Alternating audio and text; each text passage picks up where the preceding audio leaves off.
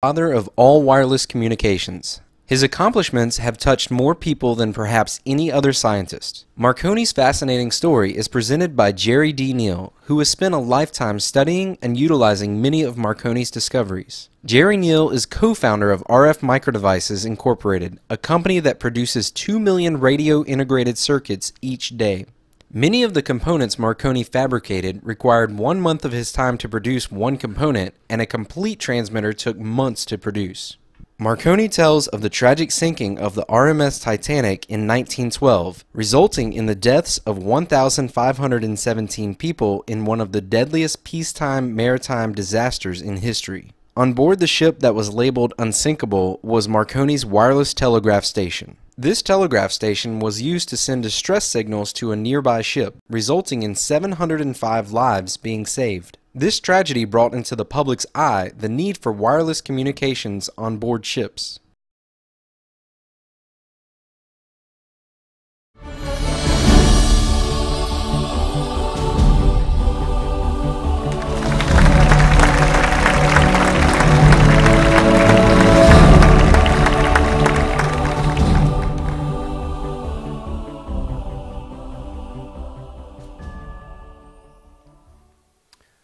Welcome to the Royal Institution of Great Britain.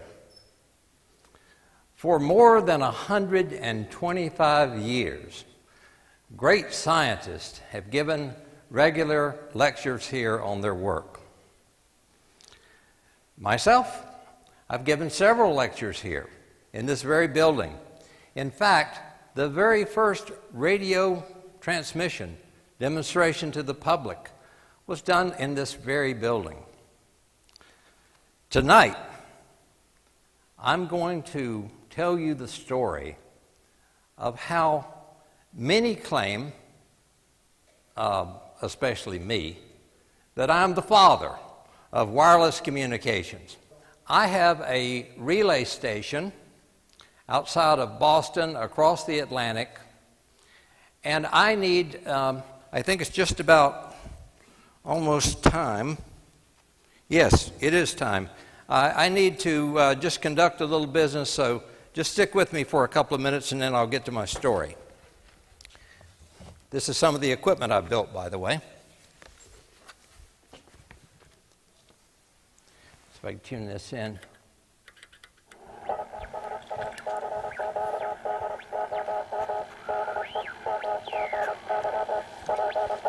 I wish they wouldn't send so fast. Okay. Well, you're probably wondering what they were saying. Uh, I'm wondering the same thing.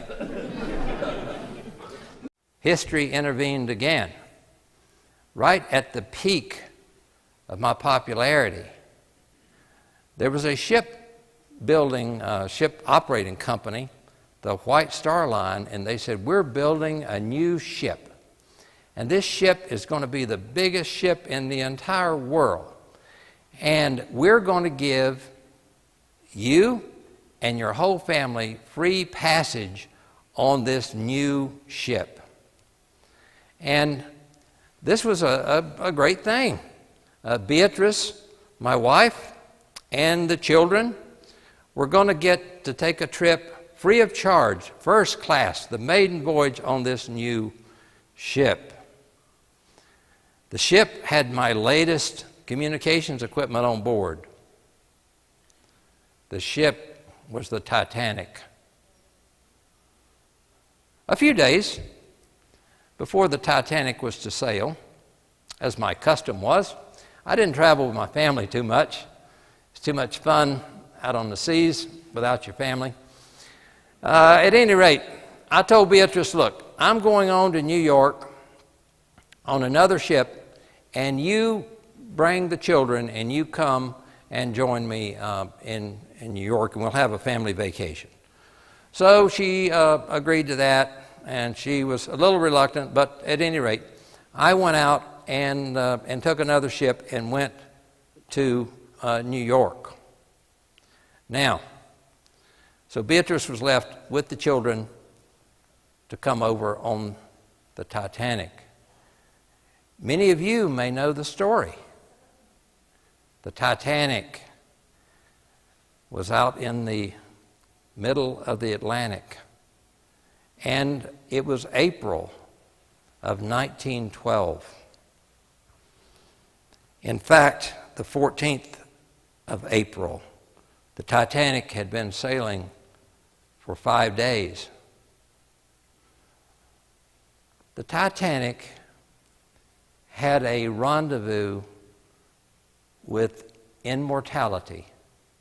There was an iceberg that had formed almost 3,000 years ago. It was rain that was coming down across Newfoundland. That rain had frozen and turned into a glacier. That glacier had moved down over a period of 3,000 years, and a huge chunk of ice broke off into the Atlantic Ocean.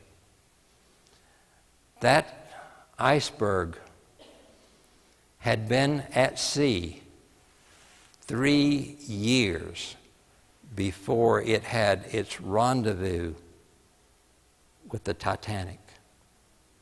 It had been back and forth in the ocean currents, moving slowly for three years. And here comes the Titanic. All of a sudden, the rendezvous is complete. They hit, and a giant hole is ripped in the hull of the Titanic. This is in the middle of the night. So I had two of my radio operators on board Jack Phillips, senior operator, he's 26 years old. Harold Bride, junior operator, 22. The captain, Captain Smith, told the operators, get on, get on the uh, Marconi equipment and send out a CQD for help. They, they did that. And there was a ship close by, the California, but its Marconi operator was um, off duty. They were not covered 24 hours a day like the Titanic. There was another ship, the Carpathia, that picked up the signals and said, "Okay, we'll come, we'll come to your rescue." And so they started. But the problem was that they were four hours away from the Titanic. Captain Smith, this was his last trip across the Atlantic. He was due to retire at the end of this voyage. There was only enough lifeboats on the Titanic for less than half of the passengers. Over 2,000 people on board, about 2,500. So the captain called in Thomas Andrews, which was the designer of the Titanic, and he said, What's going to happen? Mr. Andrews said, I'm sorry to tell you, sir, in two hours, this ship will be at the bottom of the Atlantic Ocean.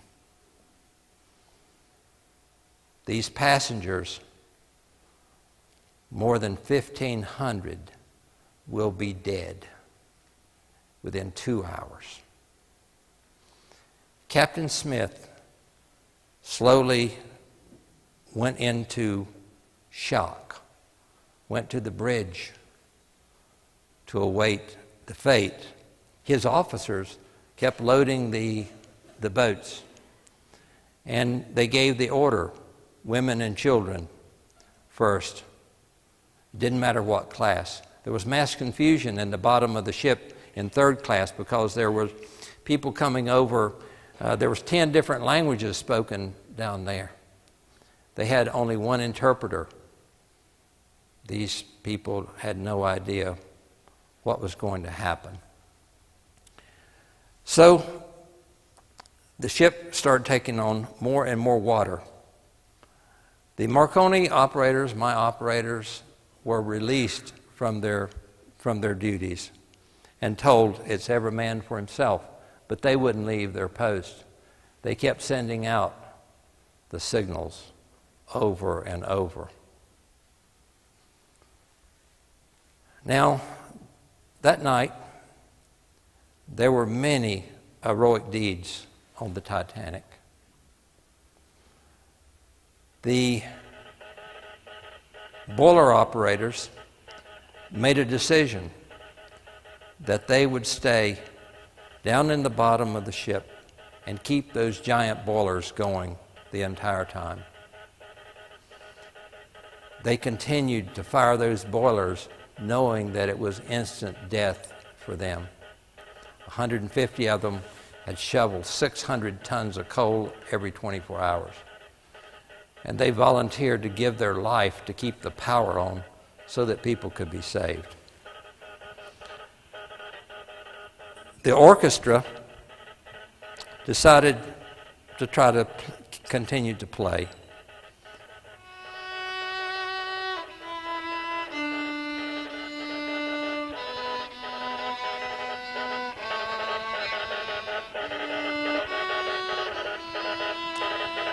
Some of the richest people in the world were on board the Titanic.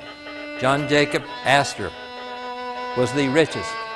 He had his new wife with him. She was pregnant.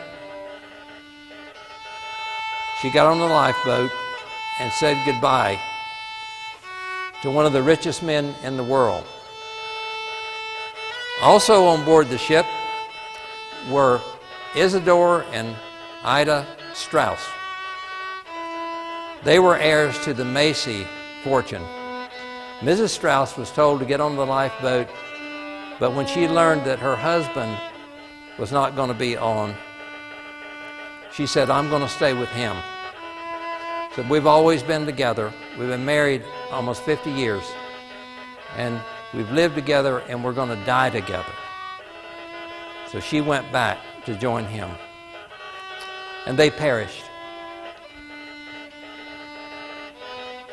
The Marconi operators continued to send the SOS as the ship was going down.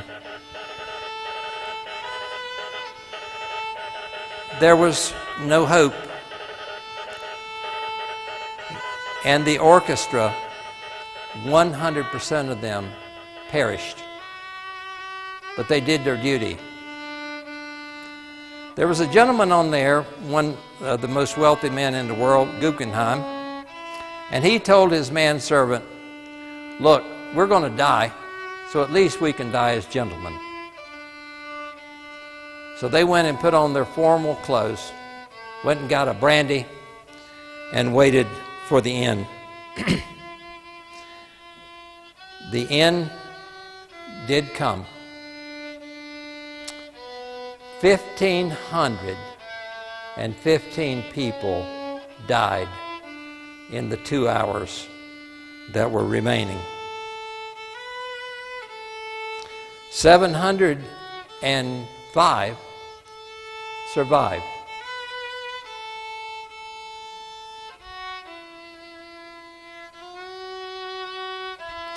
This tragedy was a huge disaster.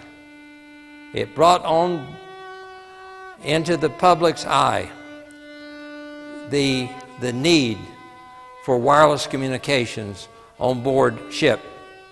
All the people were hooked into the Carpathia, and so they continued to go to shore in New York. Now, they arrived in New York and uh, I went out to Pier 54 to meet them. And when I got there, only one of my operators was there, Harold Bride. Jack Phillips had perished in the Titanic disaster.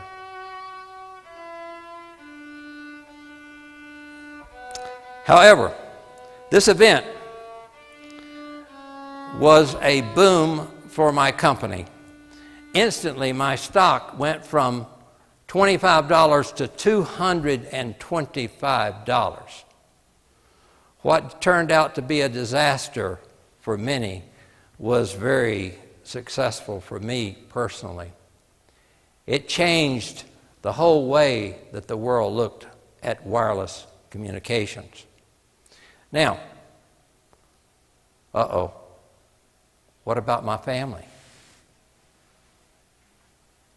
As fate would have it, uh, two days before the Titanic was to sail, my son got the flu. Beatrice told the kids, I'm sorry, we're, we can not take the Titanic. We're going to have to take another boat. And so they went up to our home at Southampton and waved goodbye as the Titanic pulled out of the, uh, from the dock. This event, these two events, changed me into a international celebrity uh, with, without any equal. It set me up as the true father of all wireless communications.